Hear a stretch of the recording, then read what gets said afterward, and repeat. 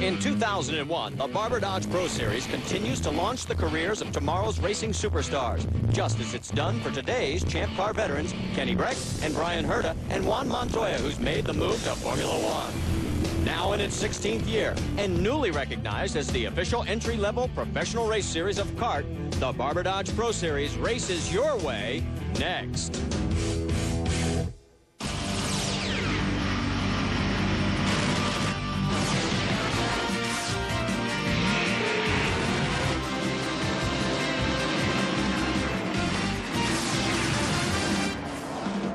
ESPN, the worldwide leader in sport, presents the Barber Dodge Pro Series. Today, it's round number seven from Exhibition Place in Toronto, Canada.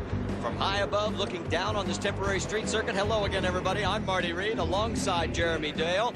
This 1.75 mile layout, but some other unique characteristics. Well, of course, this is its 16th season here, so a lot of history on the streets of Toronto. Only the second time the Pro Series has left the United States, and the first time was Vancouver last year, and there is our pole sitter, Matt Plumb. As a matter of fact, he won that race in Vancouver last year. Well, he is our Michelin Pole Award winner at 87.8 miles an hour, his second pole in three races. Sepp Koster will be alongside in row number one, and then take a look at the rest of this field, and look at the number nine spot, a career high for Rhonda Trammell. Yeah, great performance by Rhonda Trammell.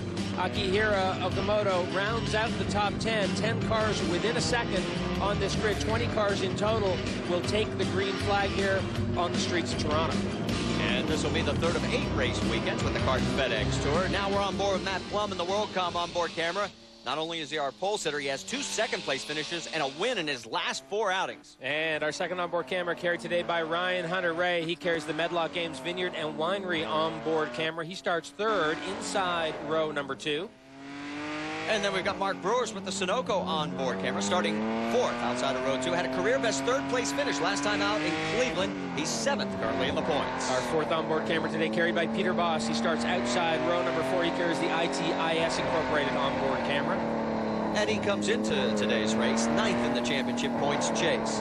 One more onboard camera for you today. Rhonda Trammell and the Klein Tools machine, starting ninth inside of row five. As we mentioned, it's her career best.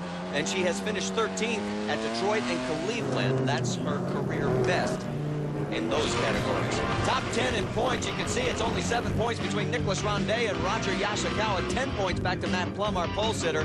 Ryan Hunter-Reay, 13 markers back. Sepp Koster rounding out the top five, 15 points back. This championship, Jeremy, still up for grabs. Well, considering there are 22 points available on a race weekend, if you win the race, you get the pole and you get the fastest race lap. So there are a lot of guys right in the thick of this championship. The Dodge Viper peels off. There is Matt Plumb and Sepp Koster. Ryan Hunter-Reay tucked up under the gearbox of Matt Plumb. We're on board with Ryan Hunter-Reay, feathering the throttle. Mark Brewers waiting for the green flag as we come onto the front straightaway. And round seven of the Barber Dodge Pro Series is green. And boy, what a jump by our pole sitter. Matt Plumb rolled up at a very nice speed there, and he just got to the throttle earlier than Koster. Look at Alex Sperafico, a little bit of contact, a little bit of lockup down on the inside of turn one, but he moves up to the second. Boy, and that was uh, Ryan Hunter-Reay that he touched tires with, and there's Ryan running in third as we're on board. Very, very aggressive move by Alex Sperafico. Mark Brewers, unfortunately, back to seventh. The run down into turn one here, very wide, a lot of pavement available. A lot can happen. Ryan Hunter-Reay now up into second place. He puts the move on Alex Sperafico. Nice move by Hunter-Reay. So let's set it for you. There is our race leader, Matt Plumb, Ryan Hunter-Reay. Whoa, and look at uh, Rondet. Nicholas gets inside of Sepp Koster and moves into fourth. And great moves by these guys on the opening lap on cold tires. That is critical. You've got to make hay while the sun is shining.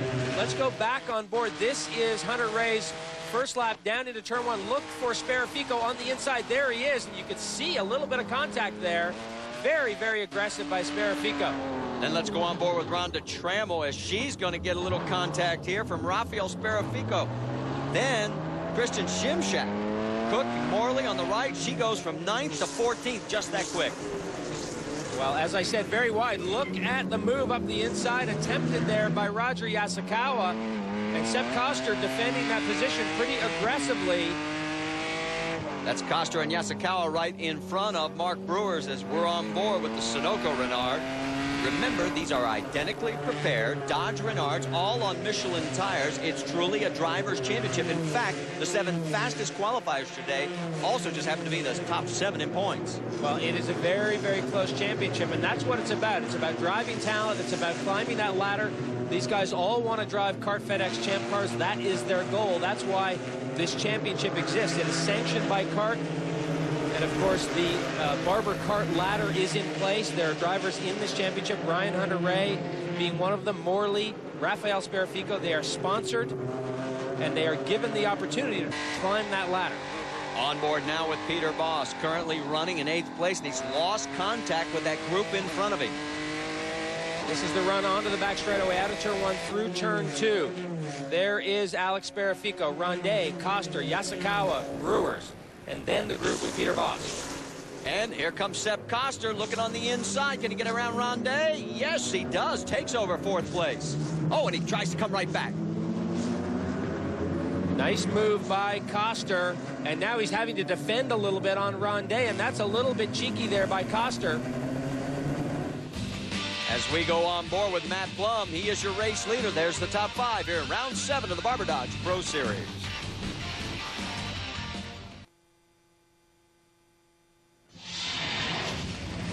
Latest news and notes from the world of motorsports, all you have to do is dial up rpm.espn.com, and that'll plug you in. Then just uh, type in your keyword. If it's CART, just C-A-R-T. You're plugged in. Back here at Toronto at Exhibition Place, it's the Barber Dodge Pro Series round number seven. Marty Reid along with Jeremy Dale, and they're going a little bit slower than we are on the racetrack right now as we pick up the battle for third, fourth, fifth, sixth, seventh. This is in lockstep. That's Alexander Sperafico and Sepp Koster. And right behind him, Yasukawa and Rondet are duking it out for the next spot. And Sperafico goes to the inside to defend. So does Rondet. That's going to force both these guys that are trying to make up the positions to do it on the outside. Koster can't do it. Yasukawa can't do it. So the inside line holds station. And now you can see that they are right back in that same running order, third through seventh. Matt Plumb continues to lead. And of course, Ryan Hunter-Reay continues to run in second place. But this is a great battle. Third, fourth, fifth, sixth, and seventh. Sperafico leading this freight train. Alexander, 27 years old. Born in Brazil, now calls Miami home. And this is his third year of racing in the Barber Dodge Pro Series, going after that $305,000 career enhancement that goes to the Pro Series champion.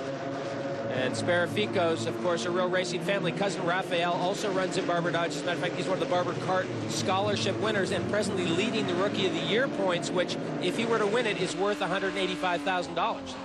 On board now with Rhonda Trammell, qualified ninth, dropped back to 14th, has picked up a spot to 13th, also picked up a bug on the onboard camera lens. And now look at the battle for the race lead. Plumb and Ryan Hunter-Reay, and he's closing down. Here comes Sperafico holding off Koster. And Yasukawa continues to put intense pressure on Rondet, and Brewers is the one that's trying to take advantage of that as they make the run up out of turn three. Yeah, Mark in seventh, closing on both Rondet and Yasukawa ahead of Rondet. So Koster continues to pressure Sperafico. Yasukawa continues to pressure Rondet. And Mark Brewers is there with the best view in the house right now.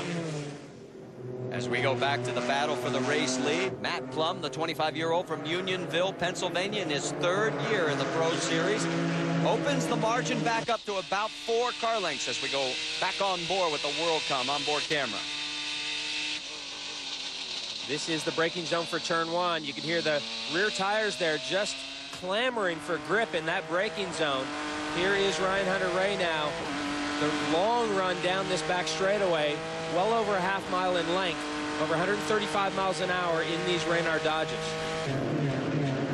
Meanwhile, let's go back a little bit further. There are battles all over the racetrack. Roger Yasukawa trying to get around Nicholas Rondet. He looks left, he looks right back to the left side, and we're not going to be able to get it done. Well, Rondet pretty much going down the, the, the, center right part of the road, and that's really limiting Yasukawa's opportunities. That is Davey Cook in the yellow Cody machine making contact there, it looked like, with Okamoto. That was Akira Okamoto. They did have a little bit of contact. And it looks like Rafael Sperafico tries to get by. Cook hangs on to that 11th spot. Meanwhile, on board with Rhonda Trammell, she's still running in 13th. And that has helped Rhonda Trammell close up on this battle. And Rhonda now going to dive down underneath Rafael Sperafico. Very aggressive move by Rhonda there.